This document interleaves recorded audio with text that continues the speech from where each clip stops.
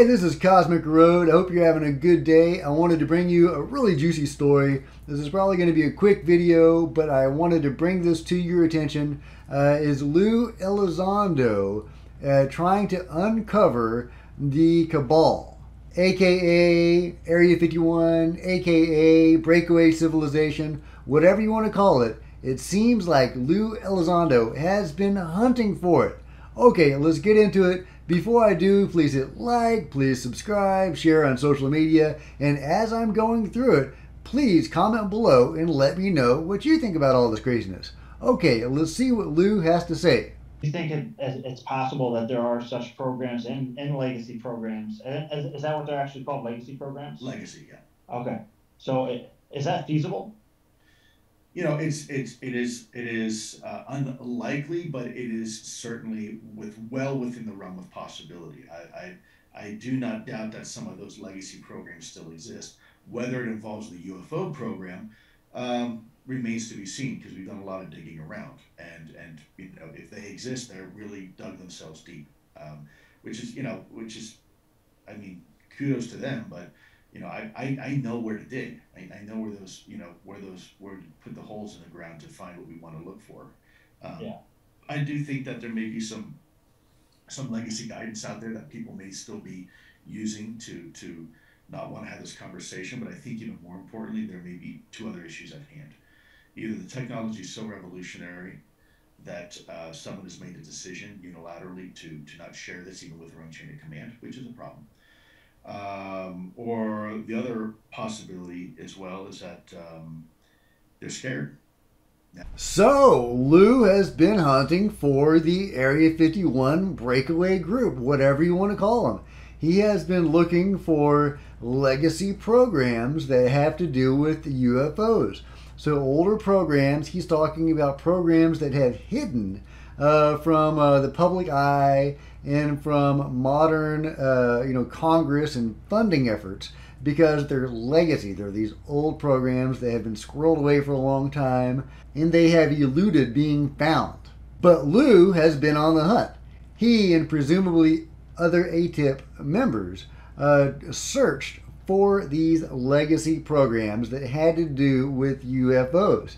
He claims he didn't find them, and maybe that's true. However, if uh, there are no legacy programs, if there is no breakaway civilization, if there are no Area 51 or whatever you want to call it uh, groups going on, then who has been blocking him? Who has been uh, maligning him and uh, standing in the way of disclosure at every step? Chris Mellon just dropped a really interesting thing on Twitter. It's an article he wrote. He linked to it on Twitter. I highly recommend checking out his Twitter page uh, but in it, Chris Mellon uh, recommended Congress start looking into certain things regarding to UFOs, and one of those was satellite data and other data.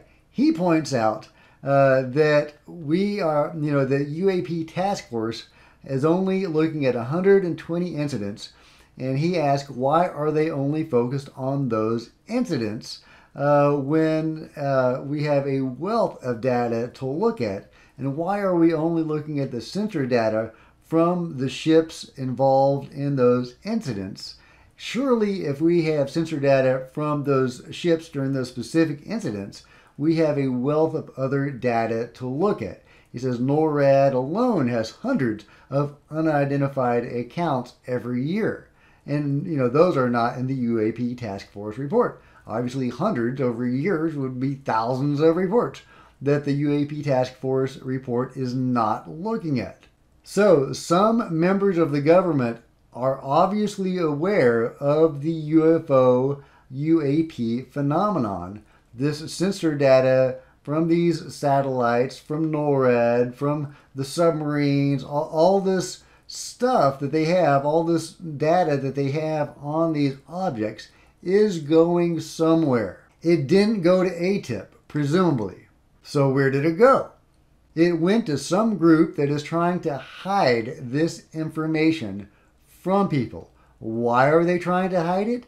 Is it because of some, of some religious thing? Are they trying to protect the establishment, the oil companies, the energy uh, industry? Is that what's going on? Is this a protecting the establishment sort of thing?